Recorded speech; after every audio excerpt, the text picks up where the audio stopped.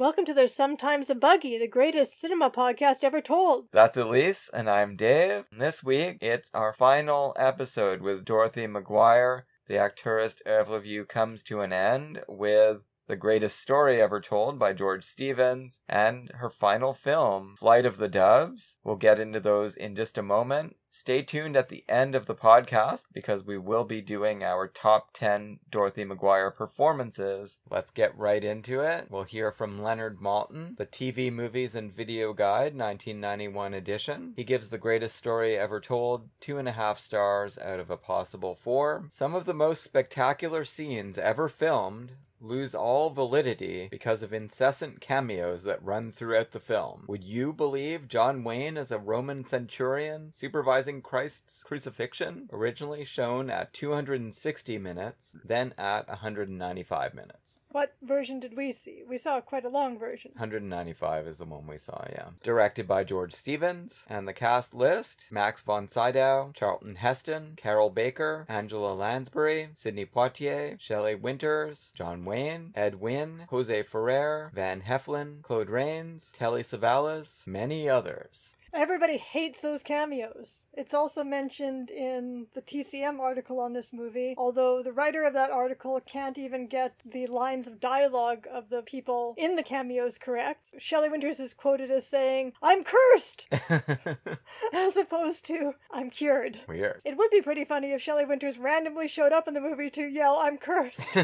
Blink and you miss them. yeah, except apparently they were so obtrusive, according to all of these critics, even contemporary ones. Unfortunately, you couldn't miss them. In fact, they were constant distractions, apparently, because everything else in the movie is so utterly realistic that star cameos are going to be distracting. Now, I have to admit that you had forewarned me about the John Wayne line delivery. It did cause a bit of emotional whiplash because the crucifixion, despite I had some problems with how it was filmed, having to do with the widescreen, but it nevertheless moved me to tears. It always does. It is a pretty good story. Then John Wayne closing that scene with his very John Wayne delivery of the line. I can't do a John Wayne voice. Truly, that man was the son of God. Not bad, not bad. I had never seen it before, It- but of it- course I've heard imitators many times. Yeah, it did make me burst out laughing. It wasn't well judged in the John Wayne canon. It's only slightly better casting than when they made him play Genghis Khan. Well, the problem is he's far too distinctive, and maybe that's what Stevens was going for for that line, but it becomes campy because distinctiveness blurs into campiness. Well, what I do like about it is that if you're using American icon John Wayne in the middle of, let's say, the Vietnam War, where horrific things are being done to people around the world, he's a Roman centurion admitting that Rome has made mistakes. It's kind of interesting. And also fitting because this movie was filmed in the southwestern United States, so that western looking widescreen cinematography that is stunning. Yeah, it's got Monument Valley. So, I mean, I guess that was the idea that widescreen cinema had cut its teeth on westerns. And the topography is similar. Yeah, I think this might be the only time I've agreed with Bosley Crowther fully in a review, and he had a very long review. I didn't realize Crowther was still going by 65. He just kept going and going. 1905 to 1981. And was he writing reviews all of that time? Rex Reed style? Or did he retire at some point? The end end of Crowther's career was marked by his disdain for the 1967 film Bonnie and Clyde. So he and uh, Kael, I guess, she was on the upswing and he was. We're close to the end of Crowther. Yes, and maybe it's a mark of that that he gave a very measured review of this movie, that according to TCM, but I don't know if I can trust this article after it not getting Shelley Winter's dialogue right. According to TCM, it was slaughtered by critics, but he's very measured in his appreciation of it. I think that's how I felt about it too. I have no idea why this was done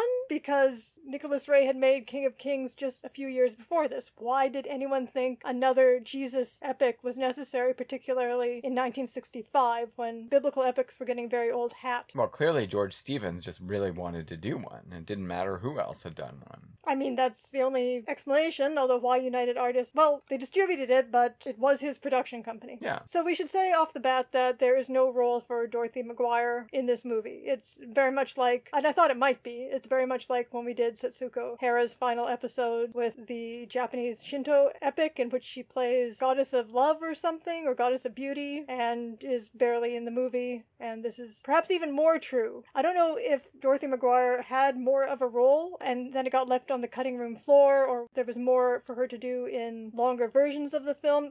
Jesus' entire growing up period, which is often a feature of Jesus movies, is completely skipped in this movie. I do think it's significant that clearly Stevens could have had anyone play the Virgin Mary. He chooses Dorothy McGuire. That means something to a podcast dedicated to understanding her place in film history. Sure, he does seem like a lot of these cameos were carefully chosen, if not necessarily to the best effect. Yeah, as we were saying with John Wayne, there seems to be some kind of reasoning behind it, or maybe I've just placed it there. with Dorothy McGuire, obviously, this is an acknowledgement that she is this icon of serenity. In some roles. Of course, she can do many other things, but effortless serenity is something that she can convey. Yeah. And that's all that she's asked to do in this movie. I mean, she says one line, right? We'll call him Jesus. I don't think she speaks. There are Dune style voiceovers, thought bubble voiceovers at the beginning of the movie. She does have some thoughts, and her face, she's thinking about his future as a king, and her face does convey a kind of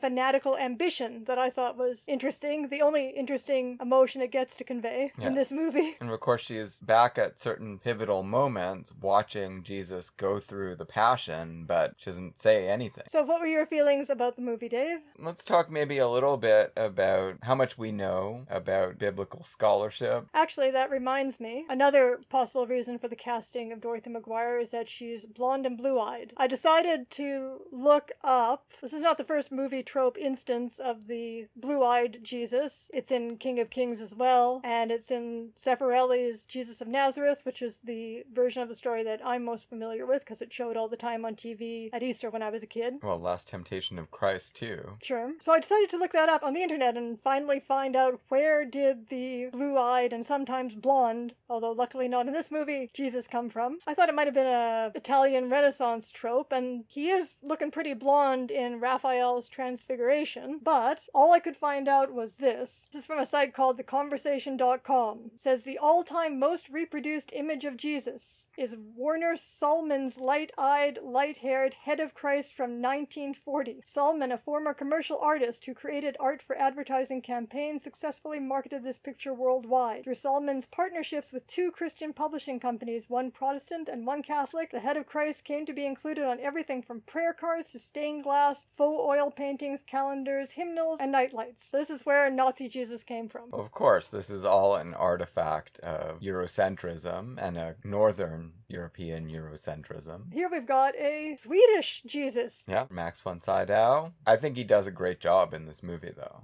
Of course, he's a great actor and he's a great camera object. He's beautiful in an austere, saintly sort of way. If we're gonna bracket off Dorothy McGuire, and we may have said all we can about her in this movie, if we're gonna consider the rest of it, I think it could be useful to try to tease out as best we can, since we're not biblical scholars, but we do have some familiarity with the higher criticism and with the Bible itself, despite neither of us being Christians. of course, this is George Stevens. Every Jesus narrative is going to be its own unique new synthesis of at least the four accounts of Jesus' life that occur in the New Testament and bringing in material from other books of that venerable text. Well, we should probably start by talking about the source. Right? Where did he pull the synthesis from, or did he do it himself? Well, Stevens is on Wikipedia credited as one of the screenwriters, one of two, but the source is The Greatest Story Ever Told by Fulton Oursler, as well as Henry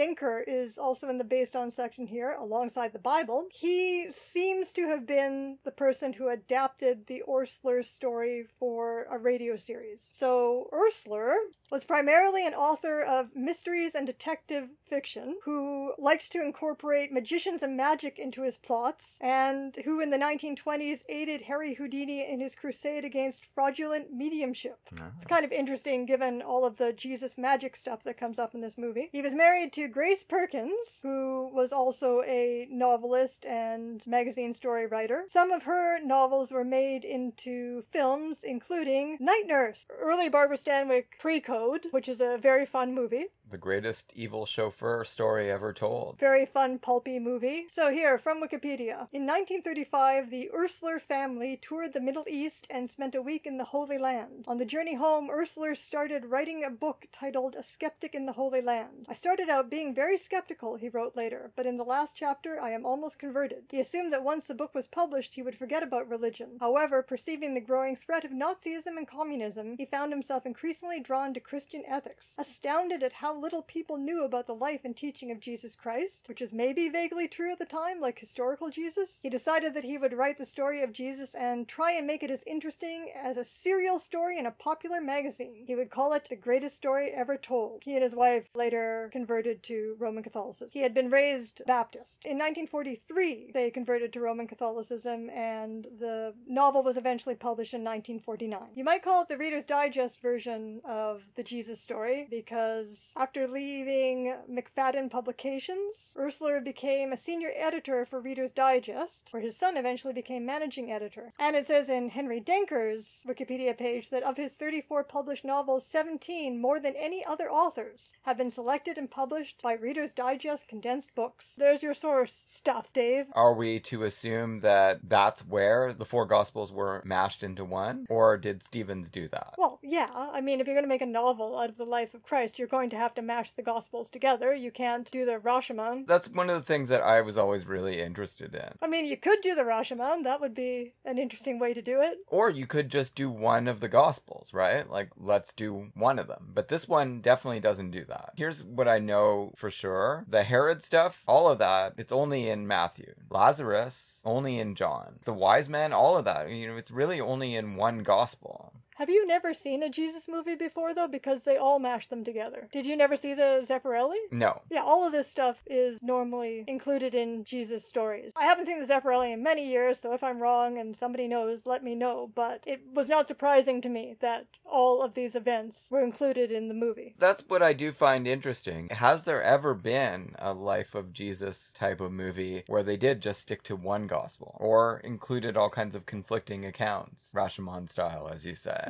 I think that would have been really interesting. We'll say this I looked the book up on Goodreads, and a few people did complain about the description of Joseph and Mary as golden haired and blue eyed. This is in the novel. For whatever that's worth, it isn't something that Stevens added to the movie, although it was a common trope already. Very much the way Jesus was generally depicted in white America. But that does make me think that the section where the movie really hedges its bets on the anti Semitism later on. First of all, where he's tried before the ecclesiastical court, and then in the Pontius Pilate addressing the crowd section where they choose for Jesus to be crucified, there's really an attempt to temper the anti Semitism by making it clear that not all Jews who weren't Christians were against Jesus, were trying to kill Jesus. Certainly does better on that score than Mel Gibson, let's say. I thought Telly Savalas was really good as Pilate. I liked most of the performances in the film as far as they went. The only fault I really had with it is that even though it was a hugely long film, it didn't spend long enough on any one thing, which is always a problem with an epic of this kind. I was surprisingly engrossed. I thought I was going to be bored to death. The story is very familiar to me, obviously, having grown up in North America as a person of Protestant background, but it never ceases to be interesting just on its face, and all we get here, other than a little little bit of examination of the politics. All we get here is, as you say, the surface. There's no attempt to explore anyone's psychology beyond the words and actions we know from the Bible. In fact, the gesture towards explaining Judas's psychology only highlights how it doesn't make any sense. Yeah, the insufficiency of it, which The Last Temptation of Christ obviously is much better on. Yeah. That's what we loved about it. I mean, that's Scorsese's greatest contribution to the Jesus movies, I think. Speaking of the politics, does it make sense to you in this movie that Pontius Pilate, I mean, obviously in the Gospels, this is just anti Semitic slander, but does it make any sense to you that Pontius Pilate would not consider this man to be a threat to the Roman state? Well, the answers that he gets satisfy him, presumably, right? Christ is talking about a kingdom that is not of this earth, which Pilate doesn't pay any heed to. So there's no threat to the state. Because I guess I was thinking in the back of my mind of Last Temptation of Christ and the idea that in that movie, Jesus at least has the option of spearheading an actual revolution against the Romans. I mean, that is the crux of the matter in terms of the actual historical period that we're talking about. All Rome wanted to do was ensure that the peace was kept. They didn't really care about the internal religious conflicts As Pilate, as Pilate repeatedly says. It's absolutely true. And in fact, you know, there was no major political upheaval at that time. There certainly had been one under the Seleucids during the time of the Maccabees, and there was another one in AD 70, right? That's when the Romans destroy the temple and destroy Jerusalem as it had existed until that time. But this is supposed to be AD 30, so there is no real threat. The threat is more to the political strata beneath the Roman overlords, right? So- Right, in th- which in this case is characterized as the Pharisees. what you have to and i think the movie does a decent job of it it's not just perversity and evil on the part of the people who are being ruled by the romans right? No, they- so much of it is like fear that it's going to be taken the wrong way by the romans and they're going to be razed to the ground which they will be in ad 70 so they're not fools to be worried about this So you think that even though Pilate is not concerned about this now, you think that if come together and decide this is the Messiah, that this will become a threat? Well, yeah, there's always that threat for the Romans everywhere, right? The only reason we pay special attention to this part of the world as 21st century North Americans is because of the Bible. But every province of Rome, there was a danger of people finding some reason to get together and try to overthrow Roman rule. And here we've got the microscope on it, and you've got the local leaders who have correctly ascertained that they can't really successfully do it. All they can do is be perceived as a threat to the empire and be killed to every last person if things go really badly. We do get early on, right, when Claude Rains, Herod dies,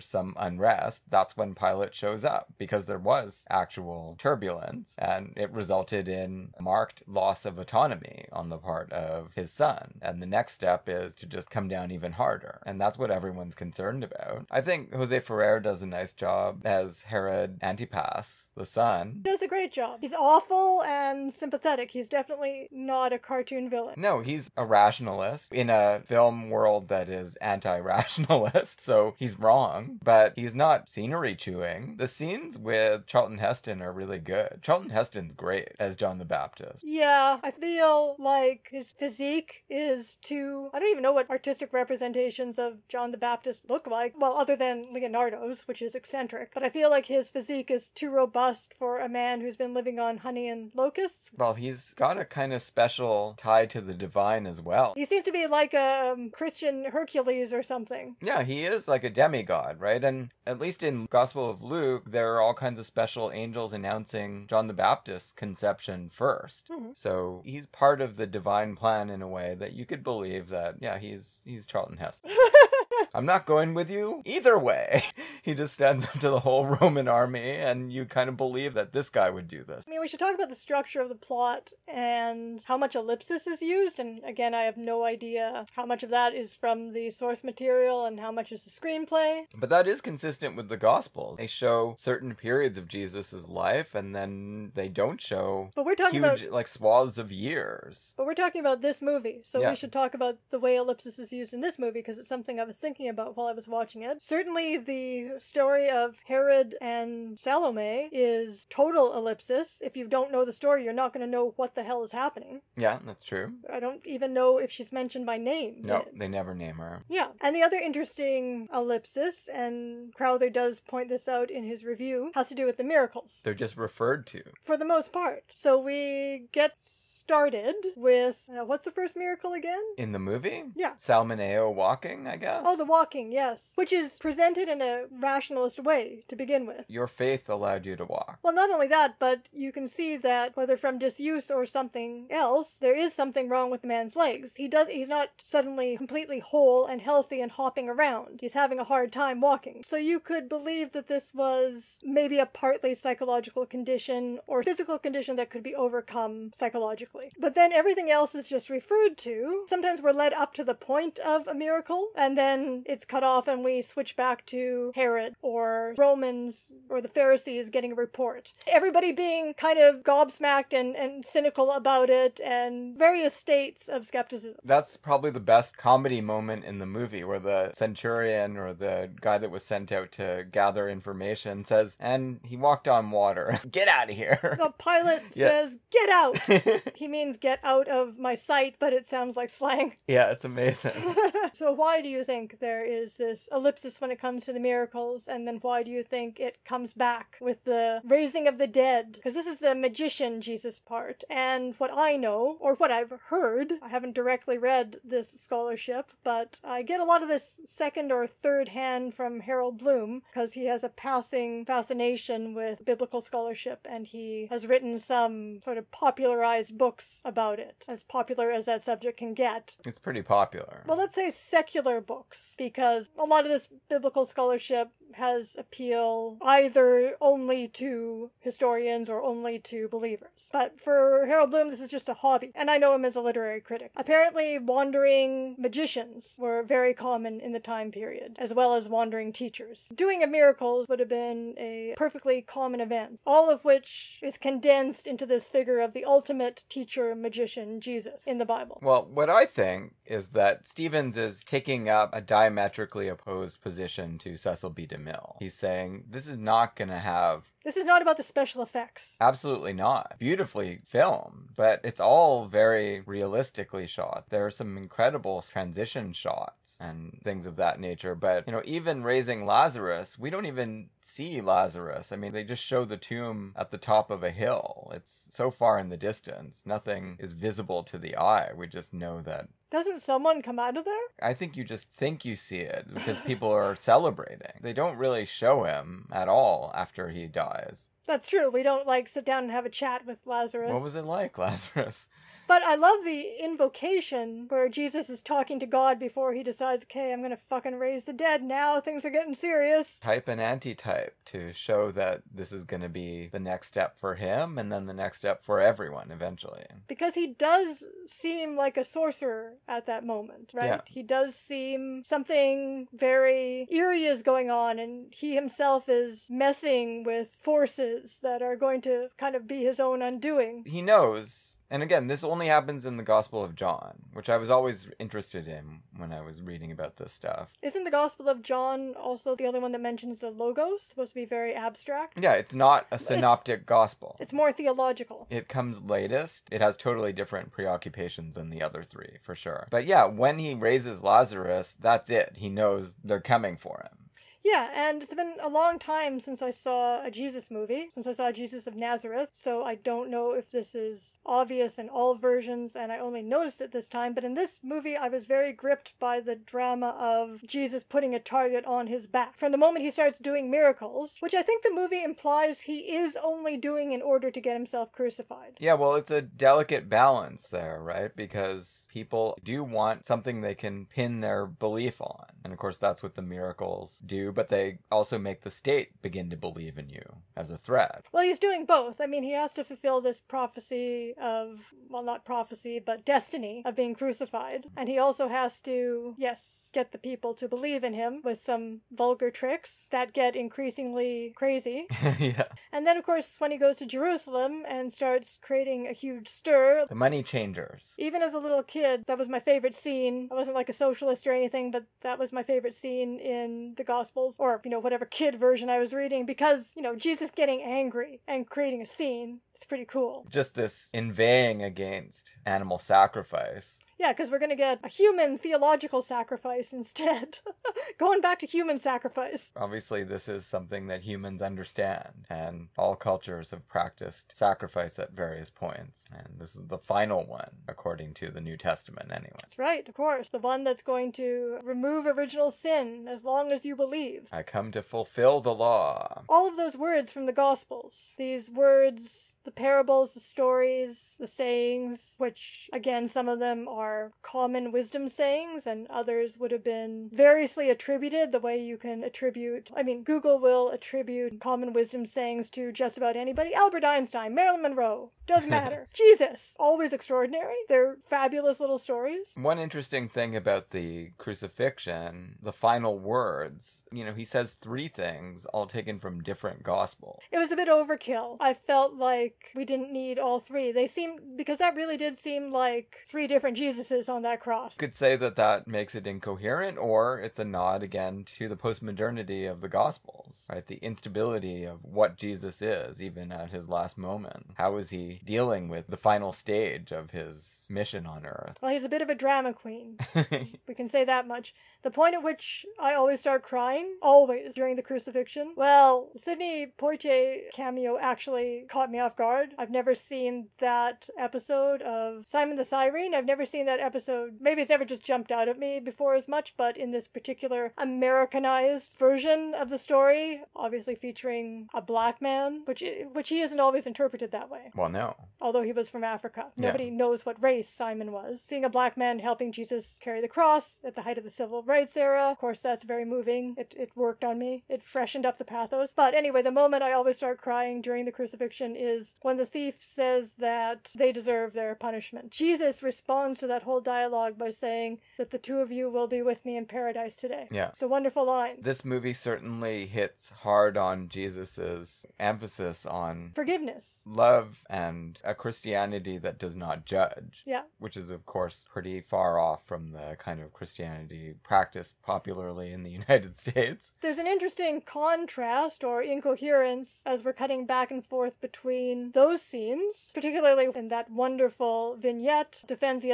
Adulteress, Let You Have Not Sinned Cast the First Stone. When we're cutting between that and John the Baptist taunting Herod about how he's going to burn in hell well john the baptist is for being an adulterer. he's not the christ He sure isn't. he doesn't have the answers jesus has the answers And I was thinking as I watched that, thinking about the emphasis on mercy and forgiveness and lack of judgment, about what uh, Northrop Frye has to say, or had to say about Harold Bloom's theory of anxiety of influence. How the greatest instance of that, perhaps in all of literature, is the New Testament. The strong misreading, Jesus's misreading, or the author's misreading of the Old Testament, which, of course, Bloom doesn't like because of the implied anti-Semitism of that. Because that that's very much a Christian perspective in which the new poem is stronger than the old poem. not one of George Stevens' greatest films, but I really appreciate it. It certainly is a recognizably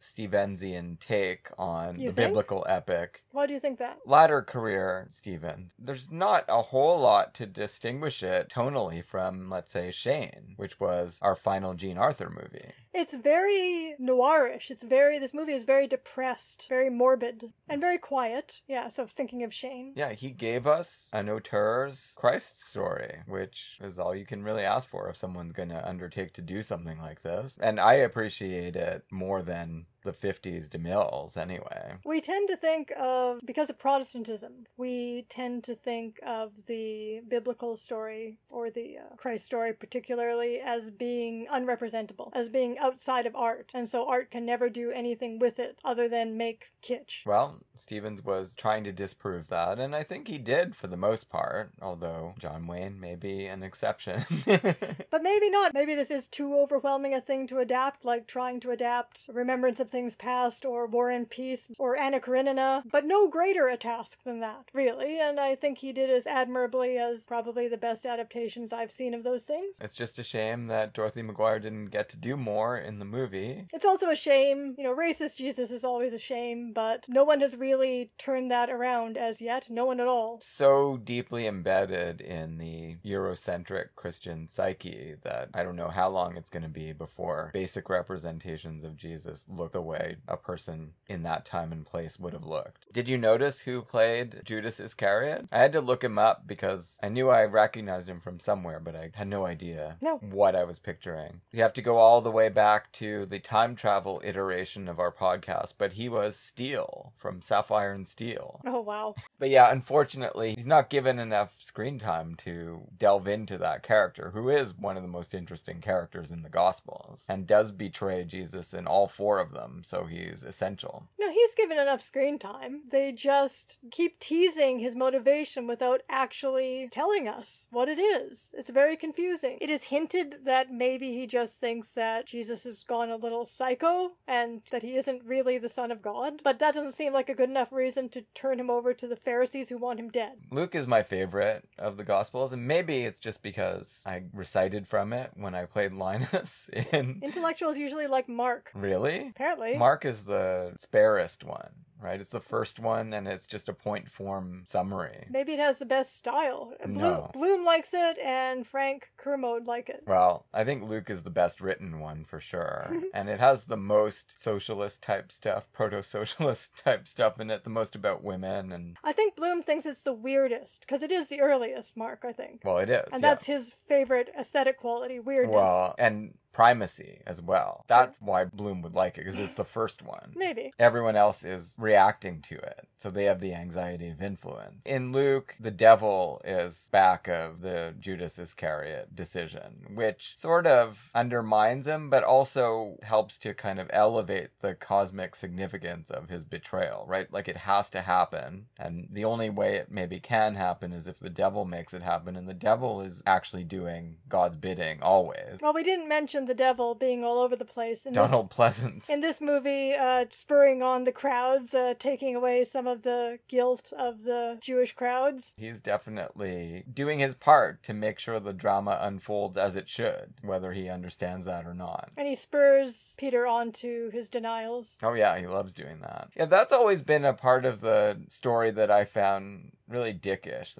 Jesus knows all this stuff and like, taunts his friends about their weaknesses. Jesus gets very dickish towards the end. He is charismatic, and that means that he's not always fun. He's not a barrel of laughs. He's not a cozy friend. He's a great teacher with a great destiny, and he's, yeah, a bit of a jerk. Like father, like son, Harold Bloom would say. Whenever Jesus is being his most dickish, he's most like Yahweh. It's the only time they resemble each other. And it does make him more of a human character as well, which Well, he I'm, should I'm, be. I'm saying it makes him less of a human character, but you think that makes him more human? That Last Supper is just an epic of passive aggressive leave taking. Goads Peter into making these declarations that he's not going to be able to keep. And he tells Judas, go, go do what you have to do. Yep. Get it over with. And then when they fall asleep during his vigil, The flesh is weak. well, at least he's generous to them when he says that, that the spirit is willing, but the flesh is weak. This is how also he has to die. He has to die not even being able to rely on his closest friends. That is what makes him human.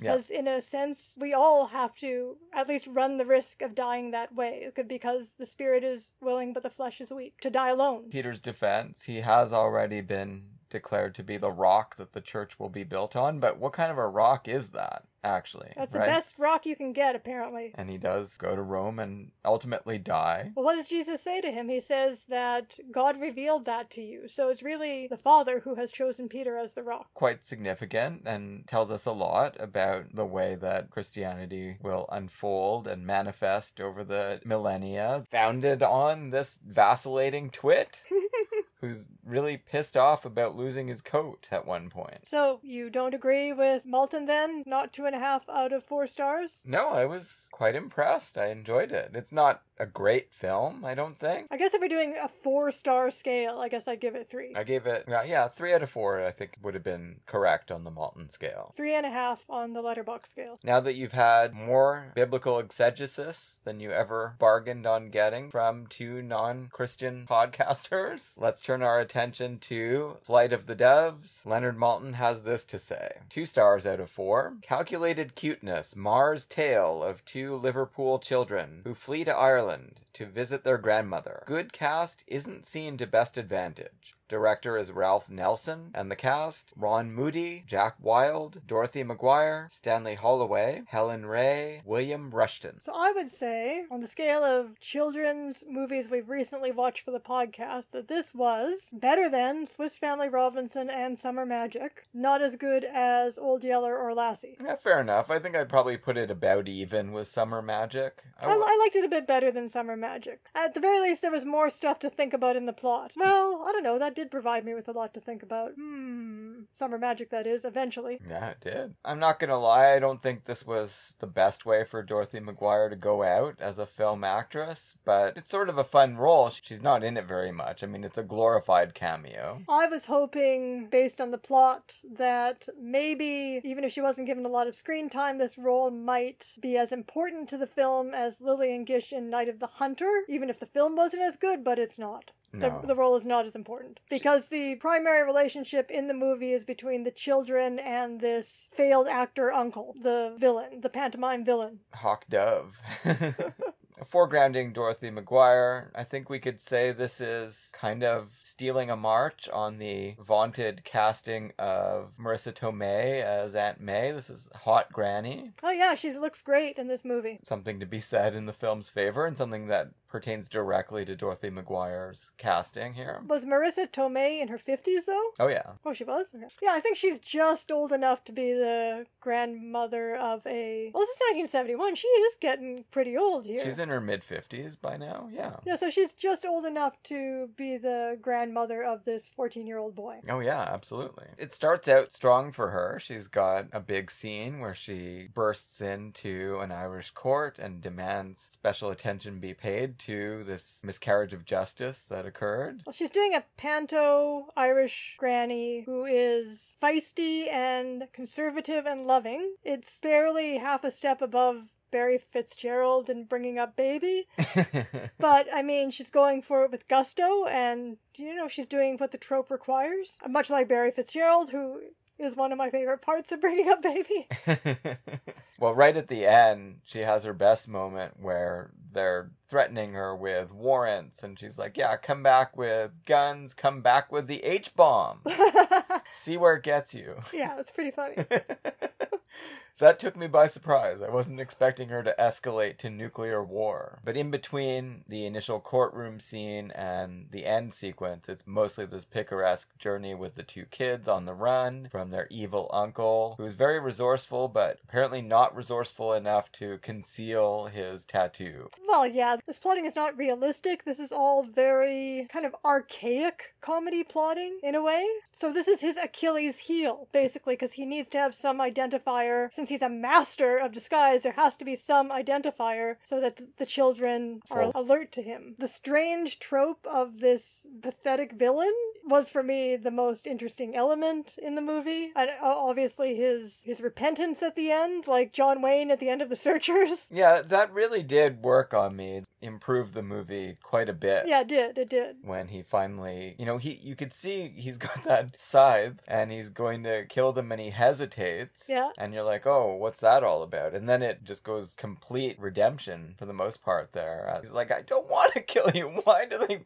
why is everything set up so I've got to try to kill my own niece and nephew? Yeah, and of course, I immediately went to work analyzing it because it didn't seem fake. It seemed completely organic to the character. Originally, I, d- I identified this character as I'm sure it's an absolutely ancient trope, but I mostly know it from Richardson's Clarissa, where Lovelace, the seducer and eventual spoilers, rapist, is putting on new disguises at every turn. He's a master of illusions in order to trick Clarissa and catch her off her guard so that she can fall back into his clutches. He'll make yet another attempt to see if he can tempt her. When I've read on that, read criticism of that novel, it's identified as a devil trope devil as the master of disguise and trickery. So we've had Jesus as magician, and now we've got Satan as magician. It makes complete sense, his heel face turn at the end, because how do we first see him? We see him as a pathetic actor who all he wants is for people to pay attention to his art. And that is an inherently sympathetic position, right? Instead of these dumbass jerks who are just chatting over the dinner theater. Yeah, and Uncle Tobias is certainly more of a villain. He has no art. No, he's awful. So this guy's going to lose his livelihood because audiences suck. And it's 1971 and tastes have changed radically in the last decade and his act isn't working anymore. He's going to lose his livelihood. So he really needs this money as a compensation, not just to live on, but as a compensation for the loss of his art. And we discover that as much as audiences may not be impressed by him, he can fool absolutely anybody. so he, he must be a much better actor than we think. oh yeah, sure. And he gets fully into his characters, which we see above all when he does his drag character at the end. She has all sorts of rich detail to her. He's a method actor. He's Daniel Day Lewis, right? She's an editor of a of a poetry column. yeah. And that actor, Ron Moody, they picked a good performer for this. Played Fagin opposite this boy as his artful dodger. I played Bill Sikes in our grade five production of Oliver. Bill Sikes is a much more one note psychopath. Fagin is a very complicated melodrama villain. I like the sibling relationship in the movie. It's very sweet, yeah. It's not like Night of the Hunter, where Pearl is kind of problematic. And yeah, so he is also united. Another reason it makes sense that he isn't permanently irredeemable is the fact that he and the children are united in that they both adopt these disguises, including changing gender. So they are trickster figures throughout the movie. yeah, that's true. Does distinguish them from the loutish Toby, who nevertheless goes through 90% of the movie carrying a teddy bear with him. Yeah, that was a nice touch. And then he does seem genuinely upset when they take the teddy bear away from him. Well, now he has nothing. You've left me with nothing, he says. And he does give away the fact that this uncle is out to kill these children. Yeah, he doesn't want to kill them. He just wants to. But he, for some reason, he wants them back at the end. Well, yeah, because he wants to control the money for a few years Mm. until they're of age, right? If you're the guardian of underage people who are inheriting money, you can spend their money. There might be lawsuits later after they turn 18, but you could, I don't know, run away to another country by then. All right, I guess that makes sense. But yeah, I mean, I don't know how much more there is to say. If you're going to enjoy this movie at all, it will be because Ron Moody's performance works on you, basically. There's just a little bit too much chasing around for my tastes. I just don't care for that very much. Quite interesting, I guess, to see the multicultural Ireland that is being. Promoted, pushed, beginning with. You don't have to be Irish to be Irish. Well, no, beginning with the synagogue and the rabbi. And of course, my immediate reaction was, there are Jews in Ireland? And then I was like, Ulysses! Yeah, of course. The end of the film, they thank that congregation for allowing them to film there in Mhm. Dublin at the synagogue. really comes out of nowhere, but uh, and this was a British film, so I don't know who had this investment of showing a multicultural Ireland, but whatever, it's a nice song. Yeah, yeah, it was okay. And it does sort of make fun of knee jerk British British anti-Irish sentiments as well, right? Tobias, his political sensibilities seem to tend that way, and that's how Ron Moody plays on him, right? He's like, "You're gonna let Irish police handle this? No, you need a good Britisher with you." That's why he is able to insinuate himself into the chase. I don't know what these tinkers are supposed to be. They just seem like travelers. Yeah, they're outside of even this multicultural Ireland. Yeah, but the girl's song about the faraway place was actually quite nice. I thought they were going to bring her back at some point at the end. I mean, they bring her song back, but they don't ever show her being summoned to Granny's house and getting to thrive there or anything. It would be ni- would have been nice. We were watching the end credits, but yeah, she doesn't ever come back. She's stuck with her drunken dad. True, but she seems to think he's okay enough when he's not in his cups. Trying to drive up the reward price. Suddenly turning into a panto villain. Yeah, and then getting beaten up by the real villain. By Ron Moody. Yeah. Yeah, no, that was a pretty. I mean, it's really basic humor. It's very British. Man in drag beating up another man, but for what it's worth, it was pretty funny. and Dorothy McGuire hits some good emotional notes when she finally gets them on her place and the judge allows them to stay. She scolds them for looking like tinkers. That's her conservative Irish granny prejudice coming yeah, out. it's true. Yeah, it's I guess it's the final version of that mixture of warmth and steeliness that we talked about in very early Dorothy McGuire. Katie roles. Nolan. So not a lot of meat for Dorothy McGuire acteurists in either of these films. This is more of a Ron Moody acteurist uh, film for sure. Considering Dorothy McGuire's career as a whole, why did it take the particular shape that it did? I mean, we've already gestured toward this a little bit, but now at the end we can reiterate. She starts out as being a Selznick find. She's one of his actress types that he wanted to cultivate. He was very clear in what he wanted in an actor. As I've said on many occasions on the podcast, Selznick's idea was that cinema was about finding unique personalities and showing them to the world at large. This was the role that cinema could play. It was not about directors, not about producers, about actors and their personalities. This is why he was the discoverer of Katharine Hepburn. He very much found what he wanted, kind of two of what he wanted at the same time in Jennifer Jones and Dorothy McGuire. And he really seems to have been setting them up as the same type. Although, well, I was going to say that Jennifer Jones, of course, has much more sensuality on film, but as we saw in Till the End of Time, Dorothy McGuire could have gone in that direction too. Yeah. But the studio system is gone, and Selznick's independent productions companies don't work out. Stardom is not what it used to be. Stars are still produced, types are still produced, in the 50s at least. Doris Day's and Rock Hudson's and Marilyn Monroe's, but this is on its way out. And none of those are very complicated types, like Jennifer Jones or Dorothy McGuire. Now, Jennifer Jones's career was unique because Selznick was promoting her, so she only got to do the films that she wanted to do slash he wanted her to do.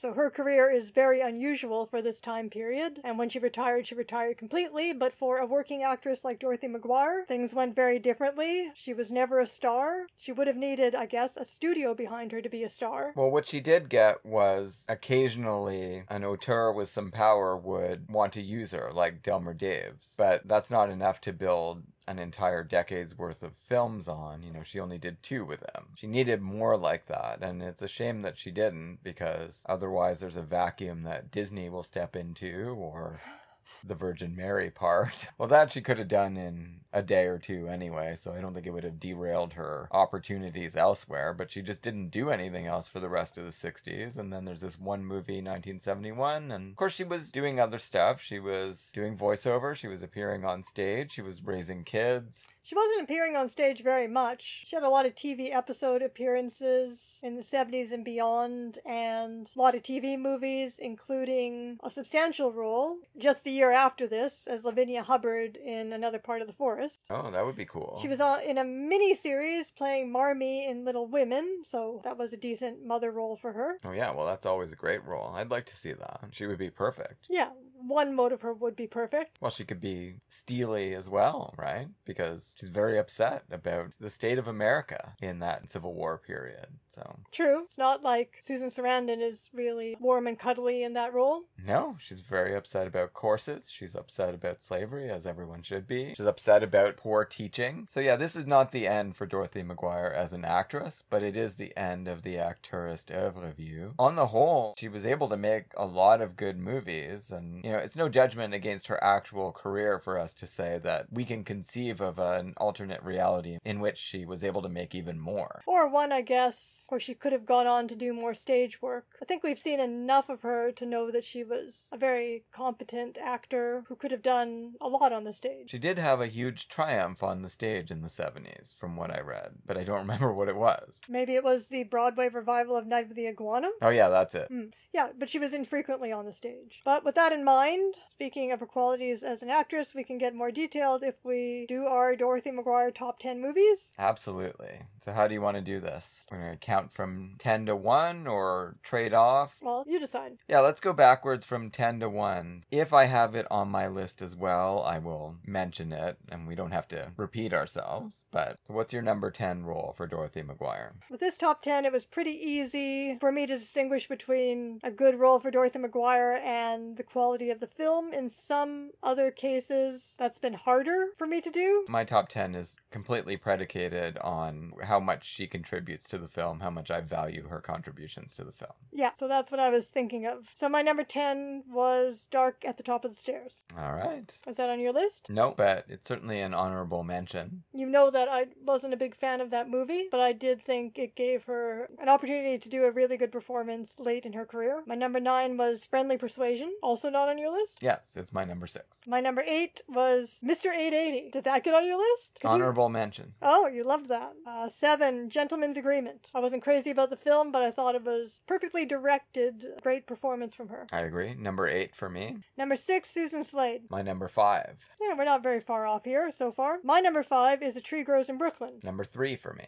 My number four is Till the End of Time. Well, that's my number one. Oh. My number three is Claudia and David, and my number two is Claudia. Well, I cheated and made those both number two because it's the same character. That's complete cheat. Can you guess my number one then? What, what has been left out here? Enchanted Cottage. Correct. I had honorable mentions for mainly as movies, not for her roles because they were very small or not very well developed, but A Summer Place and I Want You. All right. Well, my I'll do my top ten backwards because it'll be hard for people to remember what I said everything was. Number ten, Three Coins in the Fountain. Yeah, you like that better than I did. Well, I love her interplay with Clifton Webb and especially the drunk scene. I did like that, yeah. It's incredible. And that gives us a side of Dorothy McGuire that we didn't get a chance to see that much. Number nine, The Spiral Staircase. Number eight, Gentleman's Agreement. Number seven, A Summer Place. I really liked her performance in it. It's true she's not in it that much, but Of all the main characters, they get inside her head the least. Yeah, but there's some really interesting stuff that happens, especially at the beginning when she's contemplating committing adultery and all of that. True. Number six, Friendly Persuasion. Hmm? Number five, Susan Slade. Number four, The Enchanted Cottage. Number three, A Tree Grows in Brooklyn. Number two, The Claudias. And number one, Till the End of Time. Interesting. So I like the Claudia side of her more,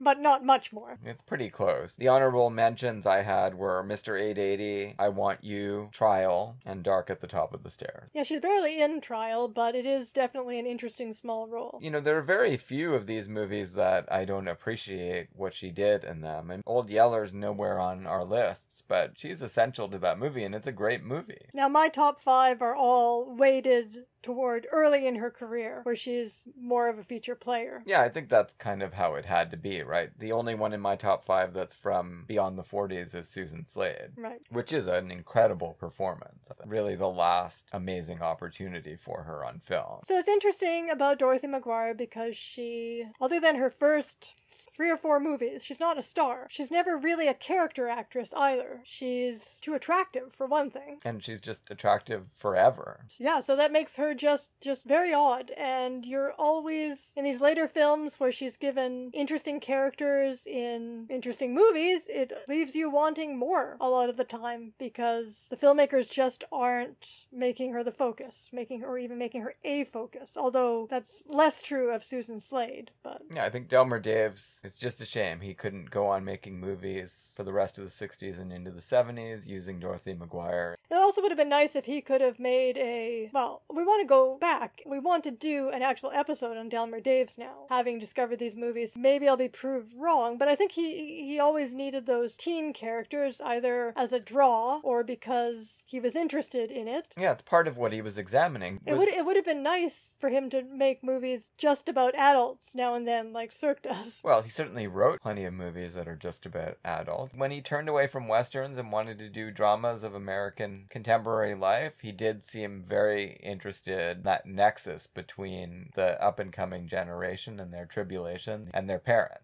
Right, and what kind of communication is possible there, about which he's cautiously optimistic. But yeah, for me, Till the End of Time is always going to be the ultimate Dorothy McGuire. I think it showcases almost everything she can do in such a great way. Maybe there just aren't any other roles like that possible. It's pretty unique. Just for that movie, she would be an immortal, as far as I'm concerned. And for me, I guess, I think uh, Selznick and I kind of shared an ideal movie star type or stage star or just an ideal star type. That's why I'm so fond of Jennifer Jones. The more Faye she is, the better. So always I'm going to lean toward the Claudia side of things here, although she didn't continue in that vein. But The Enchanted Cottage, I think, is just, it's a very special movie and maybe my all around favorite movie that she appeared in. It's a really wonderful movie. There's no question about that. All right, well, we're going to share our lists on the Discord. So if you're part of the Discord, you can see them in print and react there. Tell us where you agree and disagree. You could write to us as well. You don't have to join the Discord. You can email us at theirbuggy at gmail.com. Next week on the podcast, it's Warner Brothers 1944. We've got a pair of flashback laden noirish films for you Passage to Marseille and The Mask of Demetrios. And when we next come to an acteurist oeuvre review slot, we will be getting into the great Lilli Palmer. So, as much as we hate bidding adieu to Dorothy McGuire, our next actor is going to be very special as well, and I look forward to discussing those films and discovering many of her criminally underseen films with everyone, and you, Elise, especially.